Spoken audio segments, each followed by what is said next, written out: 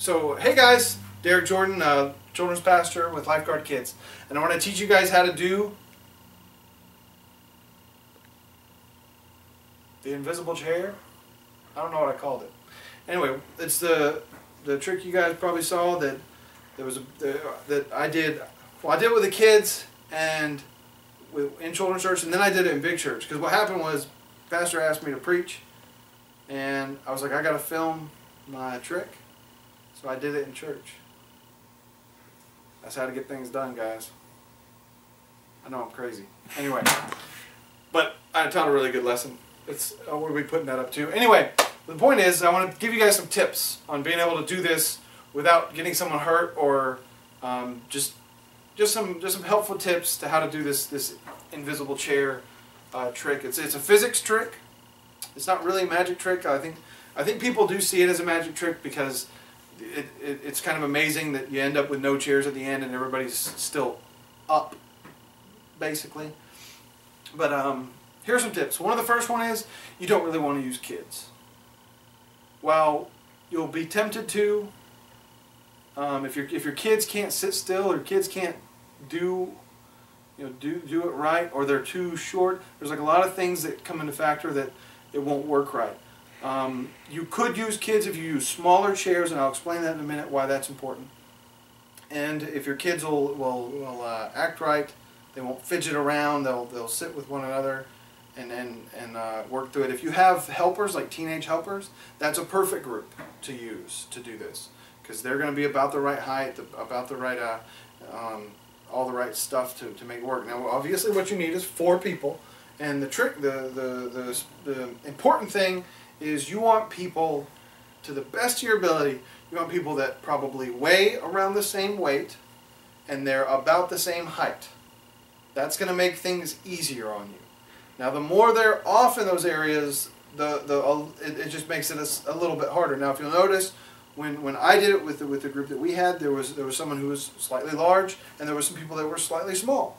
So I had a, a fairly diverse group and it still worked. Now I was a little I think you know if, you have a more balanced group, it's going to work longer. They can they can hold it for much longer. But um, anyway, so now what you need for the trick, of course, is four chairs, four volunteers, and you want to make sure they're close in uh, weight and height, and you want a stick. And I, I do not, I do not recommend a wooden stick unless you know it's sturdy.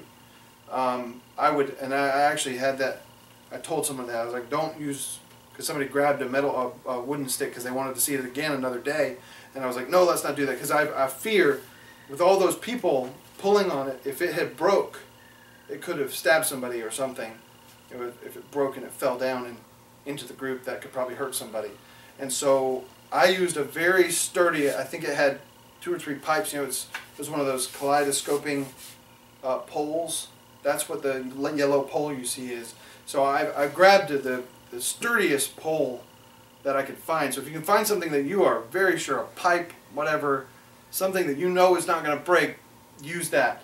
Um, you can, you can use your own arm to, to pull everybody up. And I know I'm getting ahead of myself, but I'm just kind of going off the cuff here.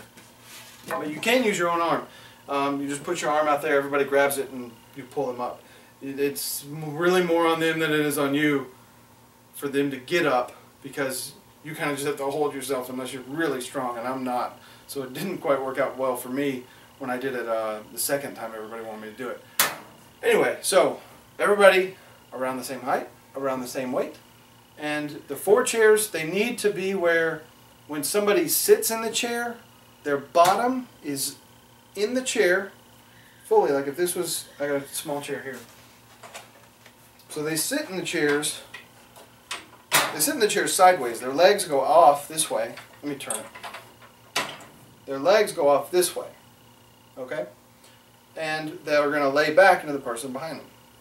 And what you want out of each person is for their, their bottom to come all the way back to here and then their knees to come, their leg to come straight down, knee out, straight down, foot flat on the ground. If their foot is not flat on the ground, if it's up in the air, like lifted up in the air and not touching the ground, it's not going to work. because they have to be able to support their own weight when you pull the chair out. So if you get them flat here, flat down, flat foot, it'll work. And it's recommended to tell them, like what when, if you'll watch the, the video where we do it, I actually tell them to push their foot. And what's interesting, it was misunderstood. If you watch the video, you'll see the, the young lady, I believe her name was Angela, when I said push, she pushes with the chair, lifts her feet up in the air. And so she misunderstood, but we ended up getting it straight later. But um, what you want them to tell them, push with your feet and lift off the chair. So if everybody does that, if everybody lifts off the chair, you can just walk around and pull all the chairs out. Because everybody's supporting you know, the, the whole object lesson of it. And uh, now you see in the video that we made for, for, uh, for Big Church, I was talking about the support system in the church. How we should support one another. How we should, um, and you know, I talked about the uncomfortableness, and all that can work with the lesson that we had because we were talking about Twix. And you know, there's twin sticks, two sticks inside the thing. And we talked about where two or three are gathered, there there is God. And so the idea behind the lesson was that we stick together, we can stand up. And so the end of it, of course, you, you put the stick, you put whatever, and they all lift up together. So the idea is you're teaching sticking together to stand for God. So all that kind of goes together. Um, I think that's that's pretty much everything I can probably tell you about it. If you have any questions, let me know. Enjoy it, guys. See you later about the different weight people. You remember how you you said uh, like it, I mean ideally, but if there's no Oh yeah, let me give you some tips if you like like if you're in a situation that I was in during this. What I did is I set up the people based on their weight and and and uh, if you'll notice, um, actually my cameraman is, is the big guy that was there. Um, I set him down first, and I had him lay back on someone who I was quite sure could could handle his weight, and then had him lay on somebody who could basically handle that, and then put the smaller person on him because it, it kind of went big, can you know sort of big can handle it, about medium sized to small, and so nobody was having to hold anybody's weight at the time that was too big. And then I actually I got the biggest person's chair out first, which you would think would be a bad idea. But what it does is everybody that's taking that weight on is, is still in a chair. So they're not actually taking that weight on, they're still in a chair. It's not a big shock. Yeah, it's not, it's not a huge, oh my gosh, so the, you want the last one to be the lightest one. It'll make things a whole lot easier if the last one is the lightest one. So I'm glad my cameraman caught that for you guys. Um, you don't want to you don't want to mess that up and have your big guy you know you pull it up and everybody just says clump.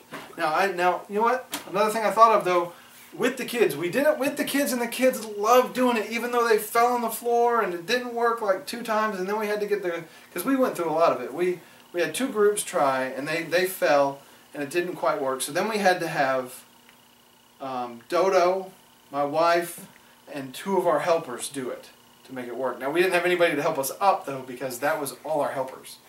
So I mean, we it just ended up in that position, but we were able to show them that it could be done.